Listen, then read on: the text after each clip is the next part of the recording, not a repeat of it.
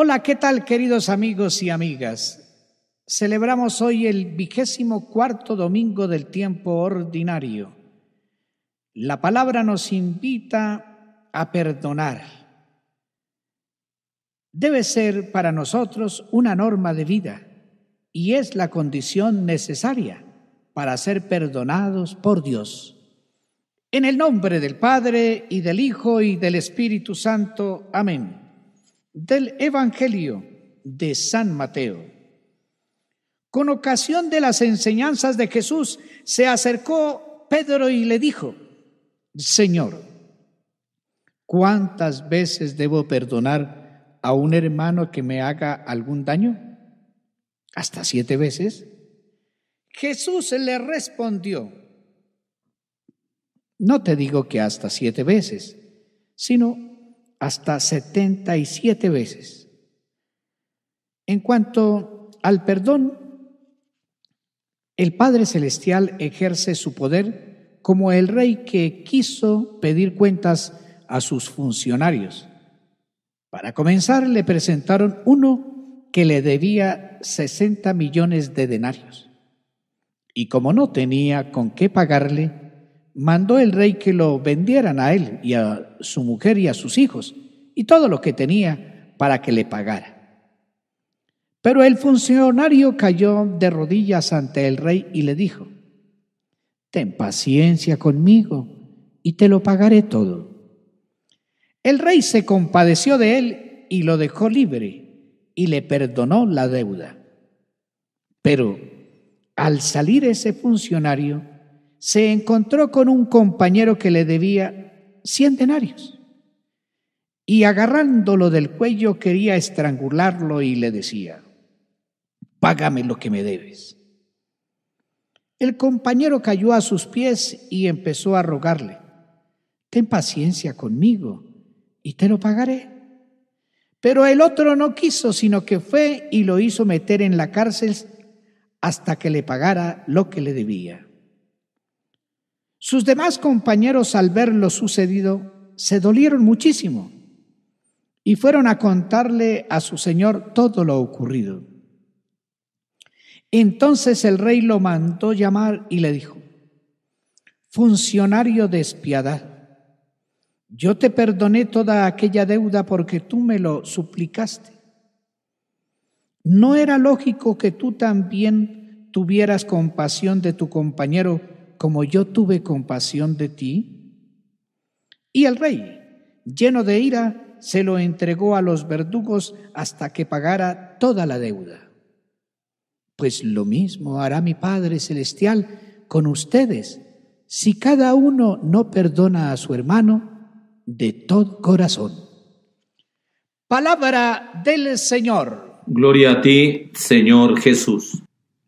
Hermanos muy queridos, un feliz domingo para todos, garantizándonos a nosotros mismos con seriedad que el domingo no es un día cualquiera, que es un día diferente.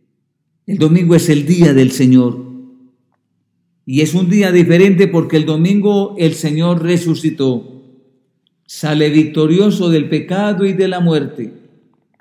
Y de paso nos señala a nosotros también cuál es nuestra victoria, cuál es nuestro horizonte. Por eso el domingo es para celebrar la victoria de Dios en Cristo, para estar también nosotros dichosos y felices. El domingo no es un día cualquiera, el domingo no se trabaja, el domingo se está en familia, el día domingo se descansa y se da gracias a Dios por lo que ha hecho en mí,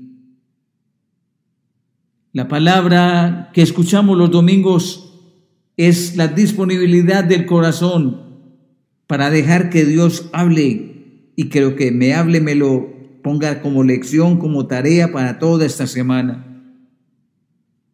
¿Qué les parece la propuesta de Jesús?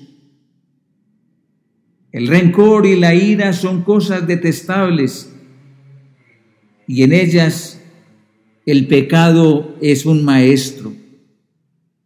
Cuando estamos con el corazón tocado por el pecado, aparece el rencor, la ira, el malestar. Nuestro Dios es un Padre misericordioso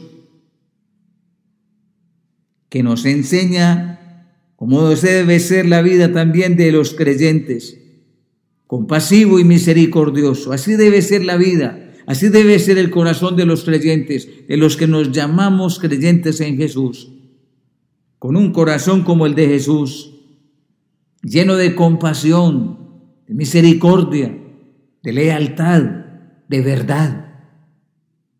Eso es lo que tenemos que pedirle al Señor que esta semana, a raíz de esta celebración, se dé en la vida de cada uno de nosotros. Vivir como Jesús, transparentar la vida de Jesús. Es necesario pedirle al Señor que nos ayude, porque en un mundo de tanta falsedad, de tanta hipocresía, de tanta mentira, el creyente no puede seguir nadando en esas pobres y pútridas aguas. El creyente tiene derecho a bañarse en agua fresca, en el agua bautismal. El Señor nos ayude y renueve nuestras fuerzas. Amén. Escúchanos, Padre misericordioso, en tu inmensa bondad. Líbranos del peso del pecado. Arranca de nuestro corazón el odio y el rencor que nos entorpecen, nos empobrecen, nos arruinan, para que sepamos transparentar tu perdón y demos fruto de auténtica caridad. Amén. Feliz domingo, queridos amigos y amigas.